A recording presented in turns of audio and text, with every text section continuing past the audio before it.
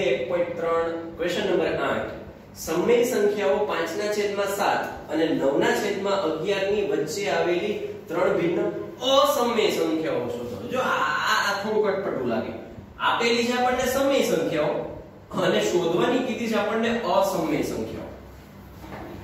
તો આ માટે આપણે અસમય સંખ્યાઓ છે એના થોડોક કન્સેપ્ટ ક્લિયર કરીએ.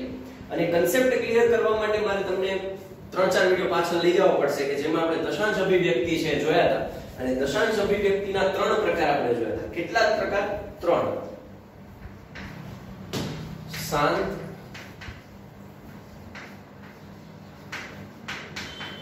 અનંત આવૃત. અનંત. અનાવૃત. આ ત્રણ પ્રકારમાંથી જે શાંત અને અનંત આવૃત છે એટલે કે રિપીટ થાય છે કે જેની ઉપર આપણે 12 છે દર્શાવી શકીએ એવી સંખ્યા. એને આપણે સમય સંખ્યાઓ કહી શકીએ કે જે સમય સંખ્યાઓ છે. અને જે અનંત અનાવૃત છે, મતલબ કે જે રિપીટ નથી થતી અનાવૃત છે, એ અસમય સંખ્યાઓ છે. તો આટલો કન્સેપ્ટ ક્લિયર થઈ ગયો કે ભાઈ જે શાંત અને અનંત આવૃત જે રિપીટ થાય છે બંને, શાંત અને રિપીટ થાય છે બંને પ્રકારની સંખ્યાઓ છે, એ સમય સંખ્યાઓના સ્વરૂપમાં લઈ શકીએ. અને જે અસમય સંખ્યા કે જે અનંત અનાવૃત છે, કે જેને આપણે અસમય સંખ્યાઓ કહીશું તે અનંત અનાવૃત છે. ઓકે. આટલો કન્સેપ્ટ ક્લિયર થયો. હવે એ કન્સેપ્ટનો ઉપયોગ આપણે આમાં કરશું. પણ એ પહેલા આપણે આ છે એને આપણે દશાંશ અભિવ્યક્તિમાં ફેરવી દઈએ. 5 ના છેદમાં 7 છે. તો 5 ના છેદમાં 7 ઉપર છે અંદર, નીચે છે 12 7 0 0 5 સંખ્યા ખૂટી ગઈ. ઝીરો નીચે ઉતાર્યા પોઈન્ટ. ત્રિશુત્યુ 49 1 બરાબર. અને 0 0 7 એકા 7 3 0 0 7 ચોક. અઠ્યાવીસ બે. બસ આપણે આટલું રાખીએ. એનો મતલબ કે આપણને મળી ગયો જવાબ કે પાંચના છેદમાં સાત બરાબર ઝીરો પોઈન્ટ સેવન ફોર એવી જ રીતે હવે લઈએ. નવના છેદમાં અગિયાર. તો ઓકે. બાર નહીં ચાલે ઝીરો ઝીરો, નવ.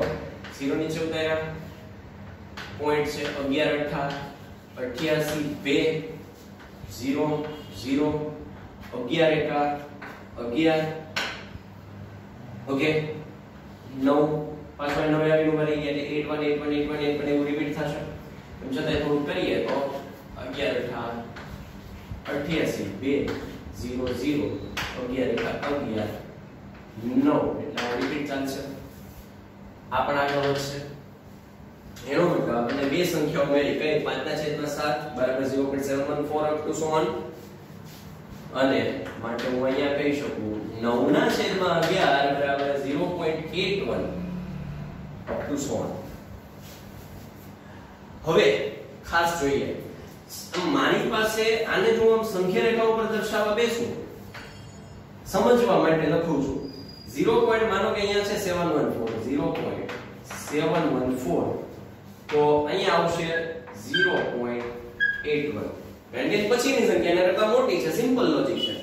હવે આ 818 છે ને, એટલે ત્રણ આંકડા ત્રણ આંકડા લીધા. એટલે કે હવે જો થોડું આમ વિચારી 714 પોઈન્ટ પછીની 714 અને પોઈન્ટ પછી 818 એની વચ્ચે આપણે કેટલી જોઈએ છે? ત્રણ જોઈએ છે. તો હાઉ સિમ્પલ એકદમ ઈઝી કે ભાઈ 0.714 આમ લખી શકું. 0. point એટલે કે 5 ના છેદમાં સાત. અને નવના છેદમાં અગિયાર વચ્ચે 0.714 તો આમ લખીશું 0.7 714 છે એટલે એની વચ્ચેની જોઈએ છે. બેની વચ્ચે નાના કરતા મોટી. એટલે 7 714 પછી 725 લઉં. પછી 3 4 1 2 4 ગમે એ લઈ શકાય. જો વિચારજો, અહીંયા મેં ગમે આગળ લીધો છે. પણ કેવો લીધો છે કે જેમાં કંઈ રિપીટ ન થતું હોય.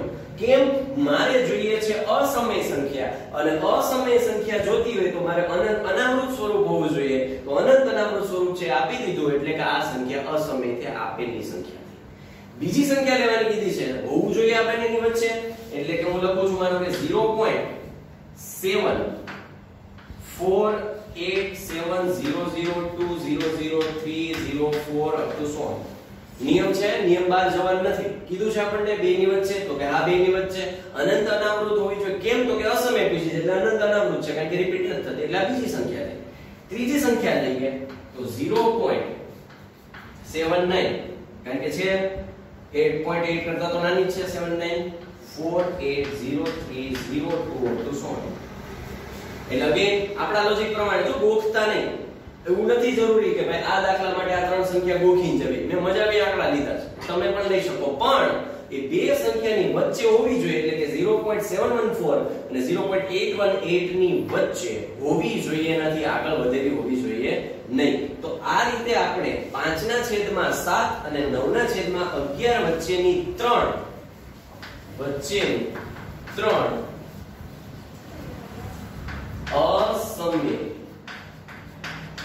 સંખ્યાઓ દર્શાવેલી તો હજી ફરીથી કહી દઉં છું, આમાં કોઈ નિયમ એવો નથી આ ત્રણ જ લેવા આંકડા તમે ગમે લઈ શકો, પણ કે પેટર્ન રિપીટ થવા દેવાની નથી, કોઈ ગ્રુપ છે આંકડાનું એ રિપીટ થવા દેવાનું નથી, કારણ કે અનાવૃત જ હોવી જોઈએ. કારણ કે અનાવૃત હોય તો અને તો જ એ અસમય હોય. અને આપણને પાછું અસમય સંખ્યાઓ જોઈતી એટલે આ આપણી શરત પ્રમાણેની ત્રણ અસમય સંખ્યાઓ છે એ દર્શાવેલ છે. તો આ સાથે આપણો ક્વેશ્ચન નંબર 8 છે એ પૂરો થાય છે. હવે હકીકતમાં જો જો આ પ્રોસેસ અહીંયા ભાગાકાર કર્યો છે તમે રફમાં પણ કરી શકો. કારણ કે આ તમે સીધું લખી શકો. પણ એ માટે તમારે રફ ગણતરી તો કરવી જ પડશે. કારણ કે આંકડો બદલાવી પણ આવી શકે. અહીંયા પણ ભાગાકાર ન કરો અને તમે ક્યાંય રફમાં ભાગાકાર કરીને સીધું આવી રીતે લખો, તો પણ ચાલે. અને પછી તમે આ દર્શાવ આ તો સમજાવવા માટે છે કે મારે આની વચ્ચે જોઈએ છે. તો આ રીતે આપણે આ રીતે આખી પ્રોસેસ છે, પૂરી થઈ છે. ક્વેશ્ચન નંબર 8 પૂરો થાય છે. થેન્ક યુ જય હિન્દ, જય ભારત.